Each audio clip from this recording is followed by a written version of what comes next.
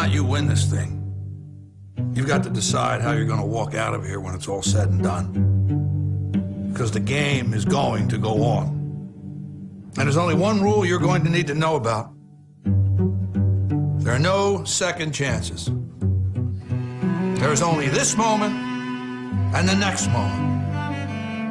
Every one of those moments is a test that you get to take one time and only one time. So if you see an opening, tear into it. If you get a shot at victory, make damn sure you take it. Seize that moment. That moment is a crossroads where everything you want will collide with everything standing in your way. You've got momentum at your back. Are thundering like a freight train straight at you. And all you got, the only difference between making history and being history, the only thing, the only thing you can count on at any given moment is you.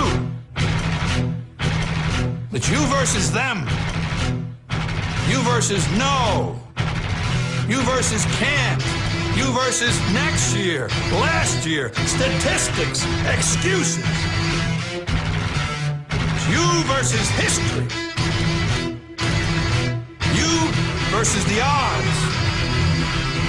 It's you versus second place.